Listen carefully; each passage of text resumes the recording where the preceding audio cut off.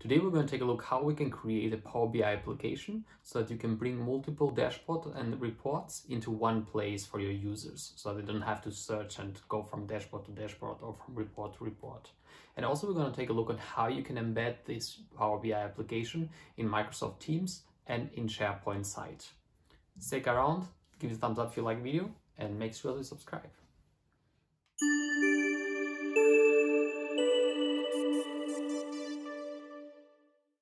Hi, welcome back. So I imagine you are already familiar with this uh, SharePoint list and this data by now, if you've been seeing the previous videos. And this is the dashboard where we created the bookmarks. As you can see here, you can use them to switch from uh, view to view and so on and so forth. But how do we bring this beautiful Power BI dashboard into another place uh, except of the Power BI web service, like for example Microsoft Teams or um, a SharePoint list. That's what we're going to see today, and um, we are going to create a Power BI app, so-called Power BI application. It's not an app; it's more of um, yeah a place where you can bring multiple Power BI reports so that your users do not have to go from report to report in different places if the reports are similar or relevant to each other, then you can bring them together in one Power BI app. And um, yeah, uh, it's just for a better user experience. So let's do that and then see how we can embed that Power BI application on the um, places I mentioned.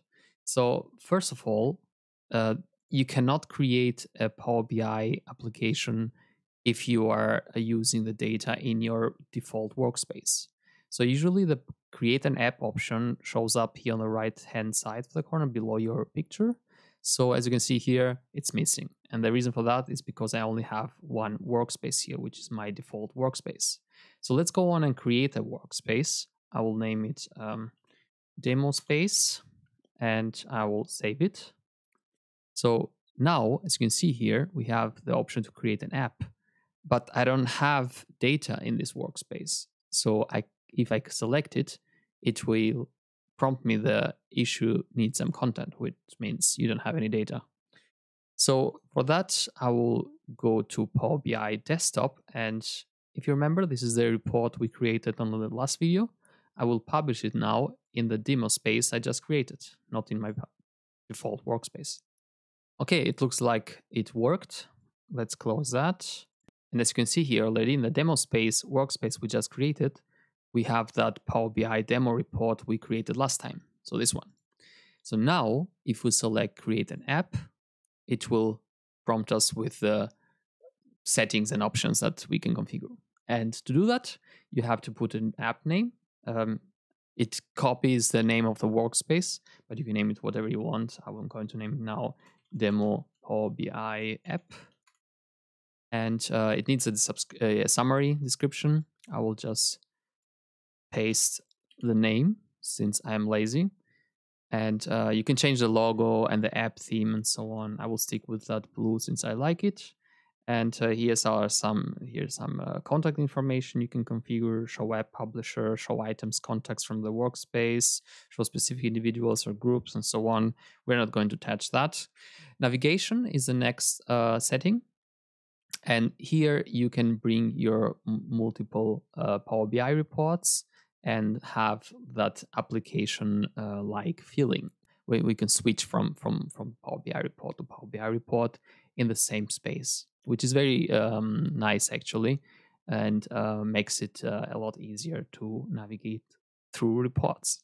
And last but not least, permissions, which is very important. You can uh, give access to the entire organization or specific individuals or groups. And here's also some more uh, settings and information that you should read. But uh, I will not um, spend time with that, and I will go on and publish the app. It takes it will take up to five or ten minutes. That's that's okay. Publish and um, here it prompts you with the Power BI um, application URL, which you can, of course, open in a web. Let's go to the app and take a look how it looks like. And as you can see here, you can hide the pages. This is the first page we have in our report. This is the second one where we also created the, the bookmarks. And if you switch to data A, data B, which again does not make sense how I did it, but it's just for showing you how bookmarks work. And that's what you should learn. Yeah, so as you can see, this is our um, Power BI application. So what we can do now is we can share it with people. And how you can share it is you can either generate a QR code where people can scan it with their phones and then they will be uh, redirected to this um, report on web, or you can embed the report in different places like SharePoint Online. And let's do that, select it. Now it will give us the embed URI, which is the one you need. You cannot just use the URL here. You need this report embed, blah, blah, blah, uh, long string. So make sure that you copy that and um, let's take a look how we can put it in our SharePoint site. So back to our uh, SharePoint site, if you go to home or any other page uh, you've created in SharePoint, it says new, you can create a new page and so on. But you can edit the one, uh, it comes as a standard with uh, SharePoint when you create a new team in Teams. So for that, um, you can you can get rid of all these uh, default settings here or uh, what items, but we're not going to do that. Here at the bottom, you can select plus, and here you can choose Power BI, and it will create a new tile here at the bottom, and you can select Add a report. It will ask for the report link, paste that you, the, the one you just copied, and if you click somewhere else, it will load the report already in your uh, SharePoint site. And as you can see, there it is. Now it will, it will also ask you which page you want to show first. And we are going to go with page number two um, because I like the uh, book, bookmarks uh, report I created. So I want the user to be um, yeah, redirected at this page as soon as they go to this SharePoint site. Next, also, you can uh, change the display. I'm going to stick with 16 by 9 since this is a white um, canvas and it looks better with this uh, ratio. Next, it will ask you also if you want to show the navigation pane, which is this here at the bottom, and the filter pane. I don't want to show the filter pane, but you can do that if you need the uh, users to be able to filter here.